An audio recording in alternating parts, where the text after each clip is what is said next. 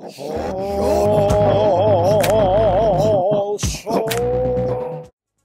is Pro Sumo Small Talk with Honu Sumo founder Menken. Day 12 on Nagoya Basho. Hokuto Fuji, Hoshoryu. Uh, this is a good one. Hoshoryu at two losses. Hokuto Fuji, I think at this point, two, three losses. Anyway, Hokuto Fuji comes out hard, as he always does, and he does not relent. He keeps his head low, his stance low, and keeps on pushing. Hoshoryu does not have an answer for it. Hoshoryu tries to grab the mawashi wants, can't get it, and just Hokuto Fuji does not relent, pushes him out. Hoshoryu's leg slides out and he loses. Good win by Hokuto Fuji.